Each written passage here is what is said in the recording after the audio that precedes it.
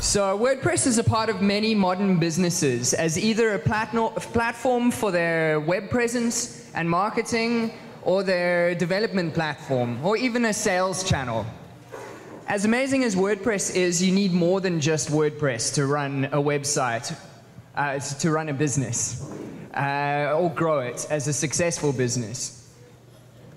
Uh, many startups fail, and not every great idea is destined to be transformed into a profitable business. Our panel will discuss how they started, funded, managed, and built their businesses from a startup idea to a successful enterprise. I've got Mark Forrester from WooThemes, Rian Knutze from App Themes slash Tiny Giant Studios, uh, Mark Henderson from Kaluma Development, and Ali, Alan Jaffe from ROI Media. So I'm going to hand over to each of the panelists, and they're going to do about a two to three minute uh, intro, and they're going to address a few questions that I gave them. And they've, they've hopefully all prepped. Here we go. Over to Mark first. Thanks, Ashley. My name is Mark Forrester. As Ashley said, I am one of the three co-founders of WooThemes. Um, Adii Pienaar, or Adii Rockstar as he likes to be known, um, is here in Cape Town, but not here today. He's in Boston talking at a conference. And then there's Magnus Jepson, who is in Stavanger, Norway. And the three of us met online whilst I was living in the UK, and that was four and a half, five years ago. Um, and all three of us were sort of freelancing within the WordPress space, which back then was just a blogging platform. And we were very crudely creating uh, WordPress templates.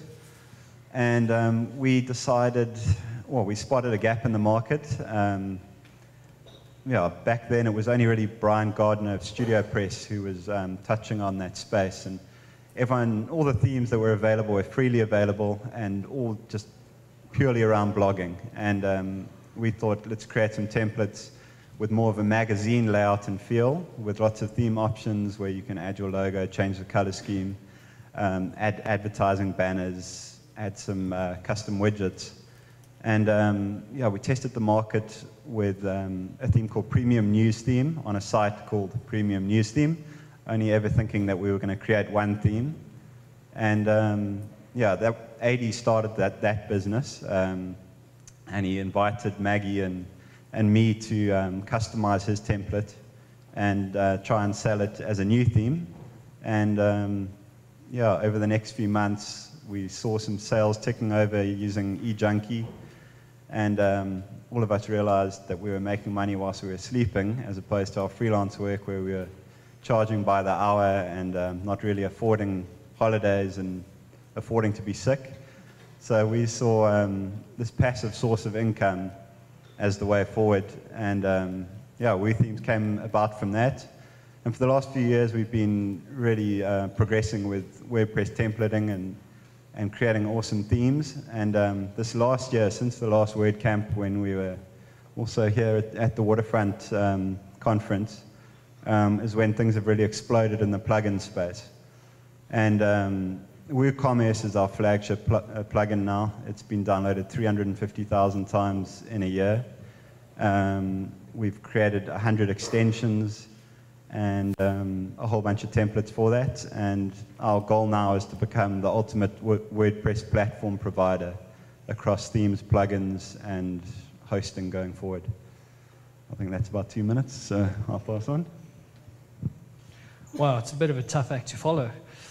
Um, my name's Rian. Uh, I spoke earlier from App Themes slash Tiny Giant Studios. Um, I make child themes, so I kind of take the success, success that these guys have and leverage it to my own advantage by building child themes. So I'm almost sponging off of you. Um, where did it start? I was a freelancer just like these guys. Uh, the only difference is I didn't study it. Everything I know was through YouTube videos, reading a few books, and spending loads and loads of time on lynda.com.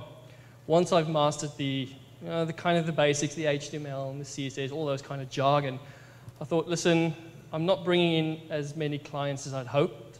I was stuck in a foreign country, um, England, sorry for all the English guys around here. And um, oh yeah, as I said, I was stuck. I didn't bring in enough clients, which, mean, uh, which means I wasn't making enough money. I started out doing Tumblr themes, premium Tumblr themes, and that market has since exploded as well. It's, it's almost earmarked as, as the next WordPress market, although I don't think so. That's just me. I sold those themes on, on ThemeForest, um, and that experience of going through the whole ThemeForest reviewing process was very, very rigorous. Um, at that stage, I knew less than I do now um, about designing because I had to design everything um, myself. I didn't have a team around me, I didn't have experts that I consult, and sad to say, I didn't have any uh, developer friends while in England.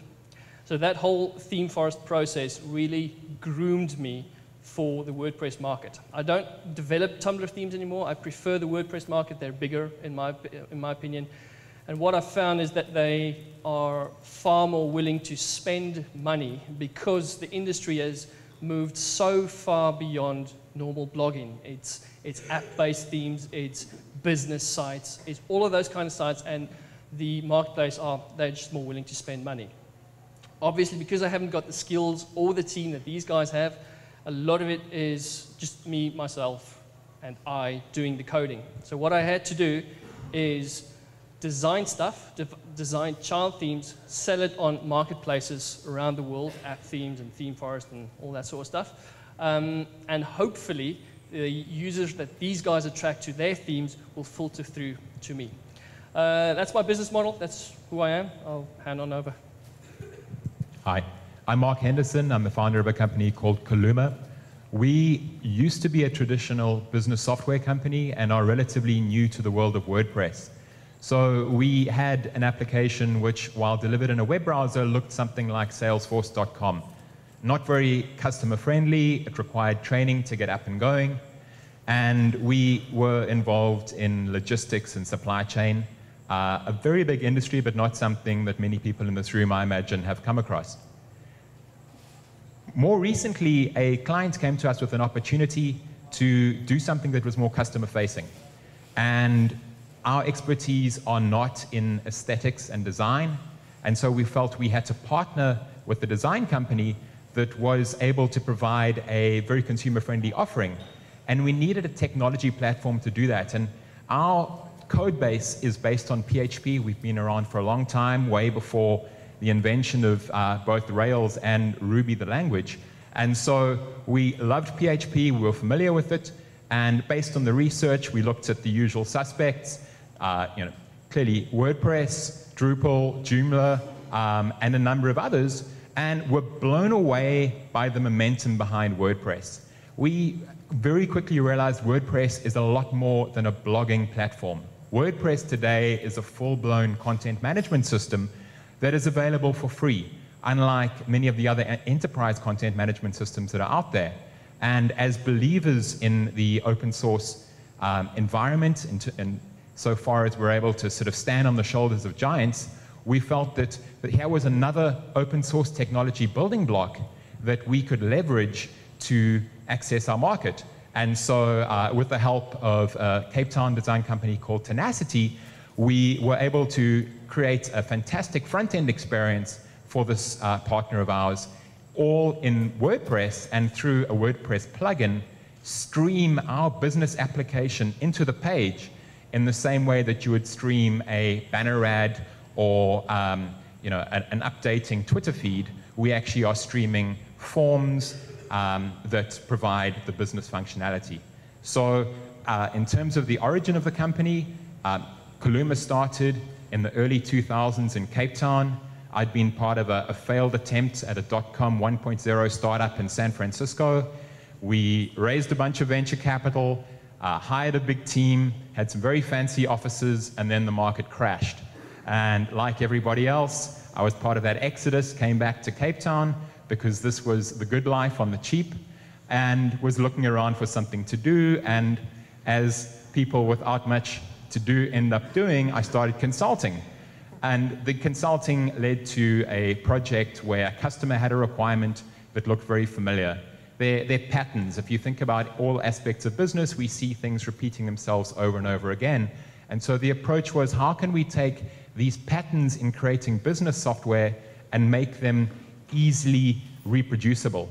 And so Kaluma's platform is one where you can define building blocks in a workflow, whether you want to create a Word document to a PDF, you want to put something in a calendar, get, an, get something authorized, get something signed electronically.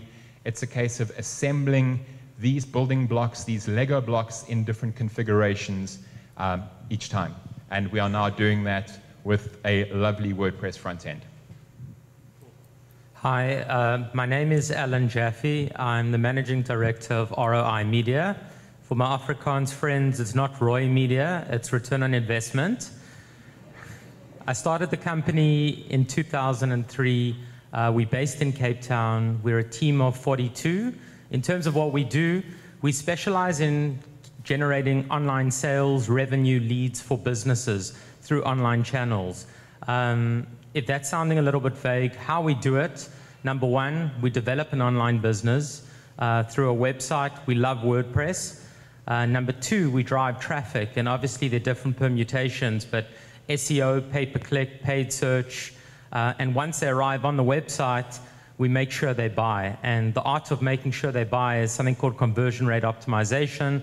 Through heat mapping, uh, we ensure that the goals are achieved. In terms of how I actually started, uh, I was in Miami setting up webhosting.net. I co-founded that.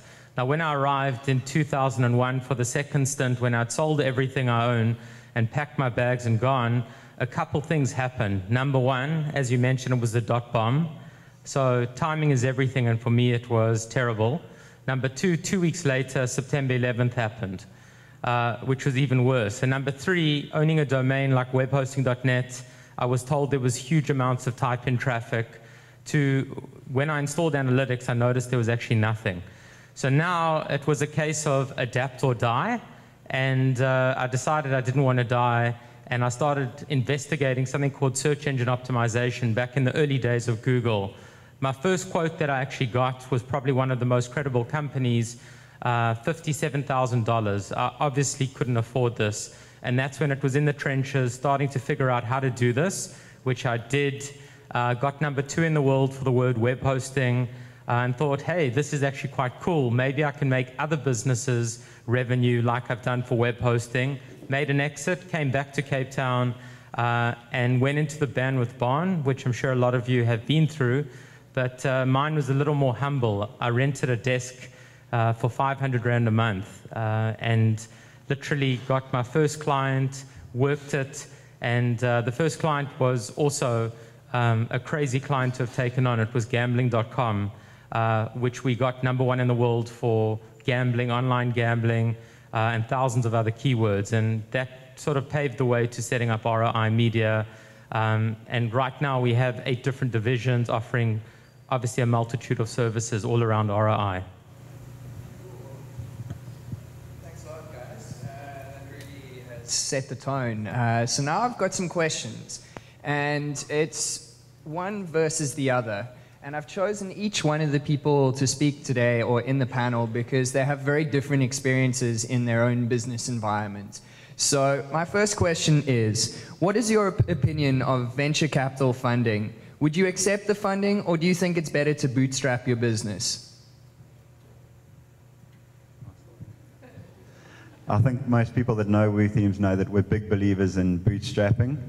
And I think it, it, depends largely on the industry you're in. If you're selling a digital product, it's much easier. There's, there's much lower cost of sales.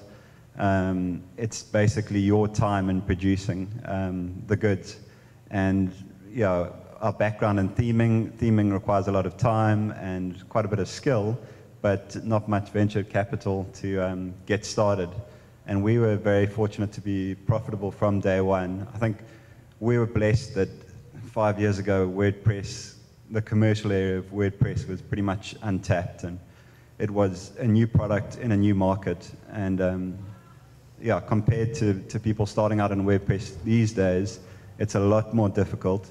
Um, and yeah, depending what you're launching, maybe you'll need to take on some money or expert help in the form of VC.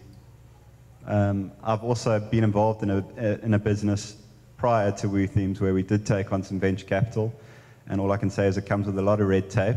And um, try and find a revenue model for your business um, before taking on VC. We had a, a, big database of valuable information with that business, um, but no idea of how we were going to make money off it. And hence we took on VC, and um, yeah, little to say that that business isn't around anymore. I never had the opportunity to, uh, to have any venture capital in my business. So, just from experience, bootstrapping, I had to do it. There, there was no other alternative. A flip side to what Mark just said, having been a, a futures trader on, on, on the stock exchange, I've got a bit of a different view to venture capital firms. I think there's a lot of them in there that they spot an idea, they see you're immature, they go in and they want a tremendous amount of market share, um, of share options in, in your business. For me personally, I would still go the bootstrap route, but I do know there's some venture capital firms that actually do more than just provide the cash. If you've got the ability, or, or yeah, if you've got the, the right partner, should I say, um, or venture capital firm to invest with you, you should be looking at what are they bringing to the party outside of cash. Are they bringing in accounting expertise that, quite frankly, you as a freelancer or even as a small firm will pay quite a bit of money to, to sort out? Do they have business administration? Do they have business analysis skills? If they can bring that into your business, it is definitely worth considering. That's my point. I'd like to see a show of hands from people in the audience who work for companies with venture capital in Cape Town. I'm guessing it's very, very few people. Now, see, I think this brings us back to where we are with WordPress as a platform, which is the barriers to entry are very, very low. These days, companies need very few resources. They just need a little bit of uh, hard work and effort and sometimes some luck to succeed as opposed to millions of dollars or tens of millions of rand. If we were having this conference 10 years ago, the guys on stage would have been talking about Sun Microsystems servers and not Ubuntu or Debian. They would have been talking about Oracle databases and not MySQL. And most of the content management systems that you know, we know of today didn't exist 10 years ago. So, you know, you would have needed teams of tens or hundreds of programmers to write the building blocks that you needed before you could create the business. We don't need that today. I mean, today we need, you know, in San Francisco, there's a, there's a new incubator, which I, I think is something that's an interesting concept called Y Combinator, where they give guys $15,000 in three months to build an entire business, which is absolutely nothing, which is the sort of thing that you know, we could do in evenings and weekends over a period of six to nine months and achieve the same sort of results. Um, not necessarily the same results in terms of the big acquisitions you get as being part of the Silicon Valley ecosystem, and that's another reason why, you know, we we do things differently here. You know, in Silicon Valley, you don't raise venture capital to spend it. You raise venture capital to put you on the map over there, to allow you to out hire somebody else. If if you are competing with Google or Facebook for an engineer, um, they're going to say, well, how much money do you have? If you say, well, I have a profitable idea, it's, it's not very interesting. But if you say, oh, we've just raised $15 million from the same funders as Facebook and we're going to be the next Facebook, you're going to get their interest. Uh, that's not our market in Cape Town. I think our market is very much one of let's create a, an interesting idea that gets some traction. And then if you want to scale it, there certainly are options. And I mean, in South Africa, it seems to be large companies still come in and buy portions of your business. You know, uh, if you look at the trajectory of companies like MXit, uh, you know, before there was a final acquisition, they did have injections of cash along the way. But the key thing is that they'd nailed the idea. They'd got the recipe right before they raised money. And I think that's something to keep in mind. So most of us will never need venture capital. Let's focus on nailing the concept, and then we can look at how to scale it. And in many cases, bootstrapping is still the best method.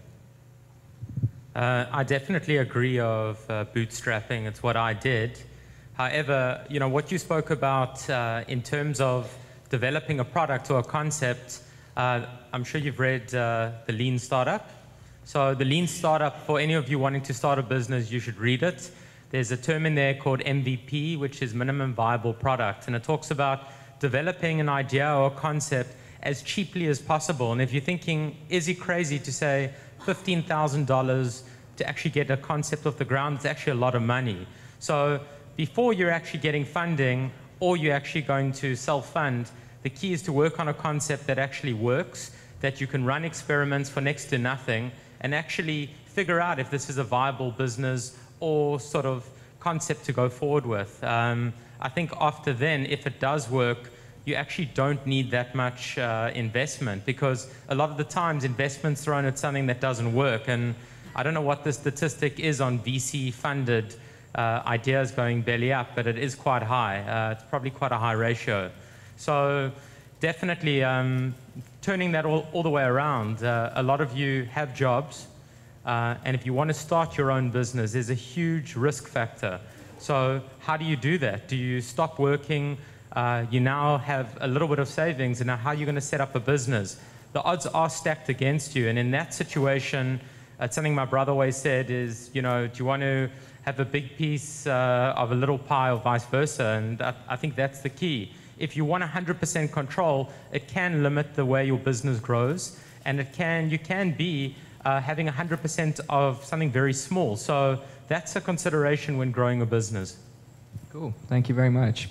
Okay, so when managing your business, a key aspect is having the right team. Um, now, you guys have been speaking about uh, distributed and uh, distributed teams. Um, well, maybe not speaking. I, I, think earlier we were chatting about it. Um, Mark, you're based in New York, uh, but your team is in South Africa. Um, Alan, your team is all based in one office, if I'm correct. Yeah. And uh, Rian, you, you work with a bunch of guys in the States. Uh, are they all in the States? Okay. And uh, well, Mark, you guys work all over the world. Um, so my question is, how do you choose between a distributed team or a fixed location? And what kind of challenges do you have if you do choose a distributed uh, team? why I say challenges there because you're not all in the same office. You can't just say, can we have a meeting and sit down together? Well, maybe Mark can start first. Uh, time zones can be very tricky, and uh, I'm actually in the throes of relocating to a more convenient time zone, which is London. Um, I started in San Francisco, and you would be having either midnight meetings or 7 a.m. meetings, neither of which are good for your social life. And so New York made a lot, life a lot easier uh, given the six-hour time difference. Um, but South Africa is, is perfectly placed in terms of the, the European market. Uh, you know, it's, it's either an hour or two hours difference with the UK, depending on daylight savings.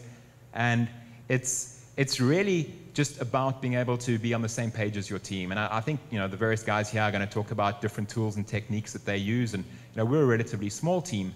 So, you know, while we are distributed in the sense that, uh, you know, sales and marketing is, is based overseas, we do have all of our developers in a room. And um, for, for what we do, uh, you know, we have a relatively large code base, and it takes a while to get new engineers up to speed with our, with our technology. And so mentoring and being able to turn around and speak to somebody uh, does help in our case. Um, but we can, uh, we'll probably get onto tools and techniques in a moment. For me, um, the reason that I've grown such a large team in one location is collaboration, I think, which some might argue could be achieved through web-based platforms, um, but probably just the fact that people are so close that we can collaborate, that we can bounce ideas, and we can grow. And uh, I think in terms of some of the services like SEO that we offer, there's a lot of secret sauce. So um, there is a trust issue. So setting up different offices, for me, uh, it's on the cards. We're looking at opening up in Joburg now, but there's a control element which I get sometimes worried about. And I'd like to hear how you guys work around that. Yeah, our team, we, we have eight here in Cape Town in uh, Tyger Valley Waterfront, and then we've got the rest of the team um, all over the world in, like I said, seven countries. And um, in the past, we've always hired the cream of the crop. I mean, we're a digital company, so we can hire wherever they are in whatever time zone, it doesn't matter. Um, now we're realizing that hiring in seven different countries has um, impacts on tax and um, yeah, different uh, employee, employee laws um, in those countries. Um, we've had to set up structures in specific countries um, to accommodate the staff in those areas. And going forward, we're only hiring in particular places now. So think of that. We didn't think of that as much. With regards to our local team here, I think having guys all in one office really, the, our head office acts as a think tank um, where everyone can play off ideas and, and talk with each other one on one whenever they want. And I think the rest of the team plays off that energy a lot. So having our local team is something that's hugely val valuable, and I think we always look to hire here first if we can. Um, then when we have meetings, we do organize regular meetings uh, amongst the team. It's done over Skype. Um, we try and have text chats open at all times between staff members. Um, guys are in all different time zones, so we want guys to feel like they're not alone if they're sitting in China and everyone else is asleep. So um, yeah, we seem to have like three or four guys online at any point in time, and we set quite strict deadlines on projects. So what hours they work is completely up to them. We have a lot of night owls who work crazy hours, and obviously don't have children. Um, but yeah, managing a distributed team um, has worked well for us. But like I said, we're a digital agency and and quite borderless, and proud of that. I'll speak in my capacity as someone that's on the App Themes team and um, how I've experienced it as being one of these team members. I'm the only one in Africa, as far as I know, for App Themes. We've got guys in Romania, Czechoslovakia, um, South America, I think it's Brazil, we've got another guy in Portugal, and then the main head office is in San Francisco as well. What we've been doing, as with Mark, Skype is, is the main theme of communication or main method of communication. Um, IM's open all the time, pretty much. Uh, bug ticketing and all of that is mostly done um, through third party applications like Lighthouse and GitHub and, and all that sort of stuff. And that's where the core of our communication almost comes from when we start building uh, products.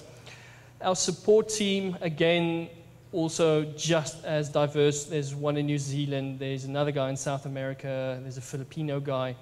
And what it's helped us to do, um, especially for app themes, when support requests come in, what you'll find some of the time is that the, the guy logging the ticket doesn't really speak English all that well.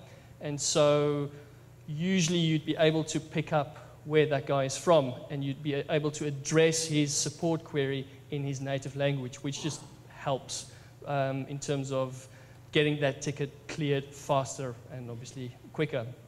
For me, um, I'm kind of one of the only few front end guys, so I don't need to be in development meetings all the time, so I can't really talk about time zones. I know when I um, talk with, with Shannon, which is our chief um, ops officer, um, it's kind of, there is a time difference, so my meetings is usually at 6 at night, um, which isn't convenient if you've got a family. Um, and pretty much what the rest of the guys echoed is having a distributed workforce is great, but does, your meetings does suffer.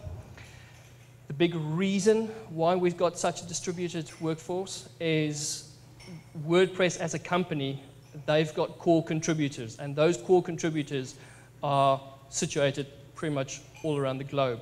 So what App Themes did um, a while back, they kind of went on a hunt for those core developers, thinking that if they are in the process of developing WordPress, they'd be really good almost to poach in as a company.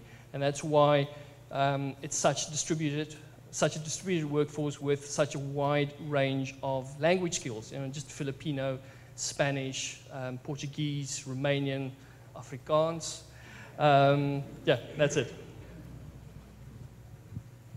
Okay, um, so my next question is uh, about forming partnerships uh, or outsourcing business functions or keeping it all in house.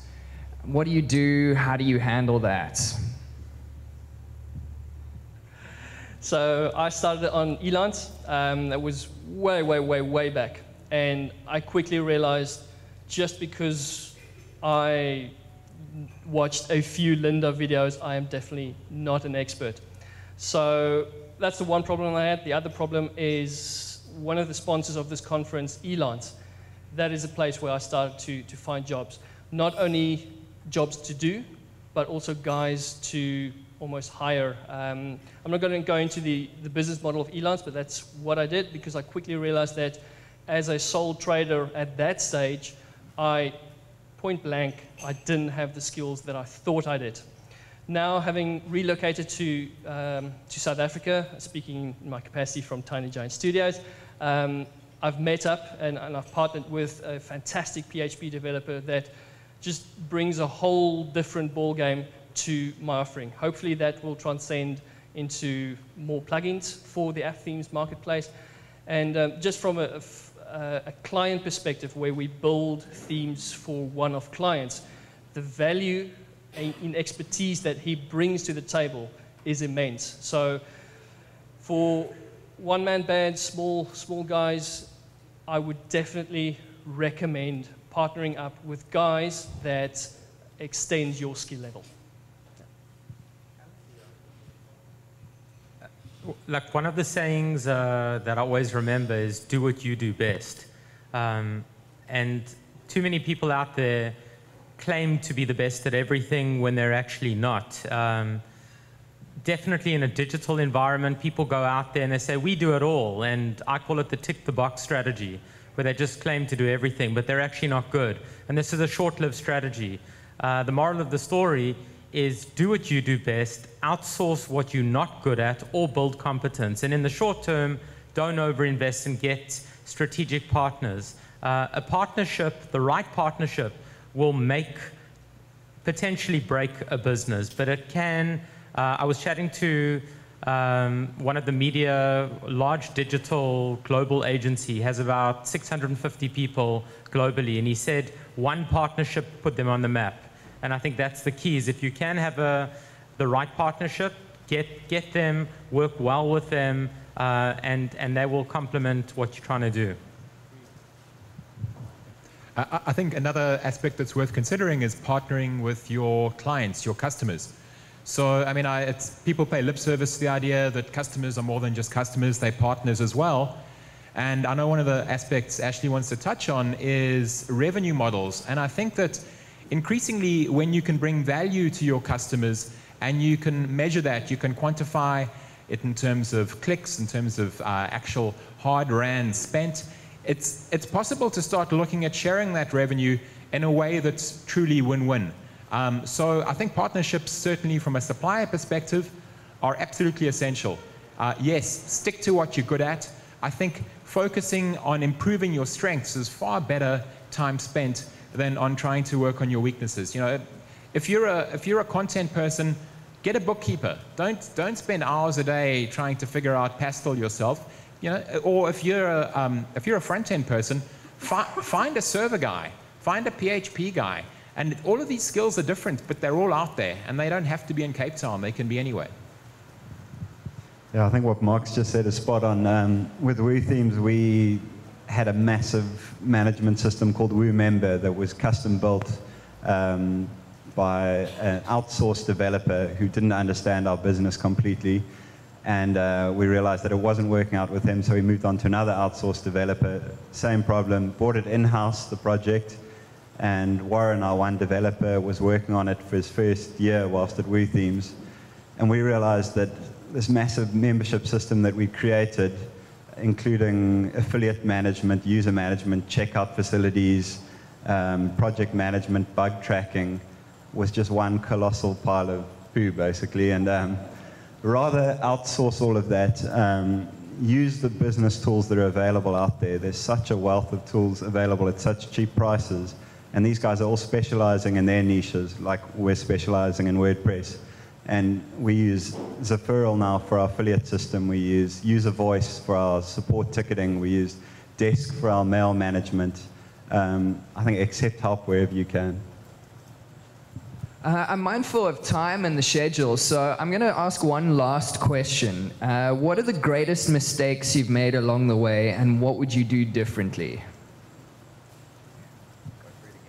I think WooMember was one of them. Um, other than that, I'd say we got a bit greedy and we thought WordPress users were the same as every other content management system.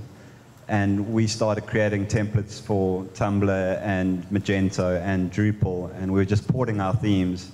And we were relying on uh, third parties, um, partnerships we'd made with other developers to fulfill um, the needs in that content management system under our brand. And our brand is our baby, and it took a bit of a knock when we weren't performing so well on those other content management systems. Um, so I'd say, yeah, stick to what you're good at again.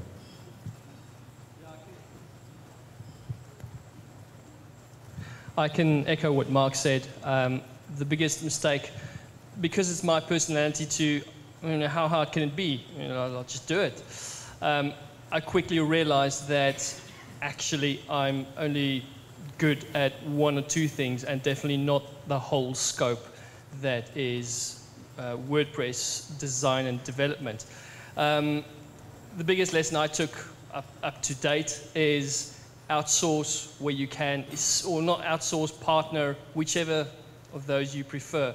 Get the tools in, get the people in, that specializes in that. Um, it's, it's something that I'm still struggling with because it's in my personality. I want to know how that works. Um, you need to explain it to me, and, and I tend to micromanage quite a bit. Um, I, I, want to know everything, and letting that go is, is difficult for me as, as a small business owner, and it's still something that I'm learning, and I'm still making a, a lot of mistakes. I think the next step for us um, where I'm sure I'm going to make a lot of mistakes is where I'm going to start to manage a team. And it's a different ball game because now it's not just, oh, what does the theme look like or how does it function or does the user like it? It is catering to the guys that actually come in and work for you and deliver stuff for you and trusting them enough for them to get on with their job. Um, that's, I can assure you next time I speak, if I do speak, um, it's, that's going to be the issue that I'm going to deal with. Uh, there's, a, there's a saying in Silicon Valley which is fail fast. And uh, I think there's a, a, huge amount of value in realizing very quickly that you're doing the wrong thing, that you're spending time, money, and the energy of your organization uh, going down a, a, dead end, going down a path where you reach the top of the hill and you, you, know, you break through the clouds and you look over and you realize that you summited a hill, but Kilimanjaro was next to you. And had you, had you been on that track, you would you know, you'd be a lot more successful. And the only way to do that is to figure out how to measure whether you are succeeding or whether you're failing. In other words, to use metrics. Uh, the book, The Lean Startup, was mentioned, and I'm also a huge fan of this. Uh, it's a book by Eric Ries, um, and, where, and he talks about how to maximize what you have to get to a point where you succeed sooner than later. It's been very interesting today to hear various people talk about how they were doing one thing and then they had a realization that the pet project or the side project actually was where the opportunity is. So they, they switched over. The, the buzzword today seems to be pivot. They pivoted to this bigger opportunity. And the key is how can you figure out as quickly and as cheaply as possible whether you're doing the right thing? Um, and I'm going to hand you over to the metrics guy because this is exactly his area of expertise. Okay. so, so for, me, like one thing that I think you all will be familiar with is your gut. Trust your gut. There's often this big gray elephant in the room, and no one ever wants to acknowledge it that it's there. And applying that to, to different facets of a business or a project, you have to acknowledge and uh, another book, Good to Great, they talk about how a guy had cancer and he was prepared to cut his arm off because that's what he had to do.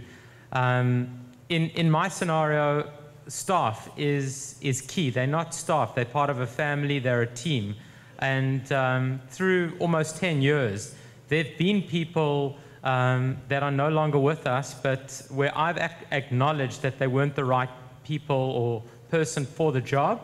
And it's sometimes very difficult to take the decision that you know, they must leave and get them out because that's not my sort of personality. So if I could have acted quicker with certain situations, um, maybe that was my mistake. I think I'm getting better at it in a better evaluation process of getting the right people on the bus, which is another saying. Um, and I think that's the key is just your team is critical. I think that's the most important thing uh, of a company. Uh, a product's important, but without the right team, you're nothing. Okay, thank you everyone.